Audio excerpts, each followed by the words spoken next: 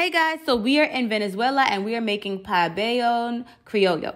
So basically, what that is is rice, beans, and uh, steak. And yeah, uh, what I did was I I boiled the rice with some a little oil, um, some salt, and um, some garlic, and that's it. And kind of let it you know cook you know regularly, um, two cups. And then also I made the beans, um, just a can of beans, um, put some some onions, some seasoning, garlic, cumin powder, vinegar, and let it simmer. And the beef itself, I let it cook. I seasoned it really heavily, and then I let it cook for about two and a half hours. Now you can um essentially use a bouillon cube, but I didn't have any, so that's what I used, and that's it. I'm not sure. I think that's it. Oh, and once I did cook the beef, I then shredded it and added some tomatoes and onions with it, and that was it. And it was really good. I loved it. You know, honestly, I'm actually going to make this um just regularly for my own family. This was one of my faves. I have to say, just me personally, as you can see, I'm chowing down on it. Um, but anyways, I will see you soon. Can you guess what the next country is?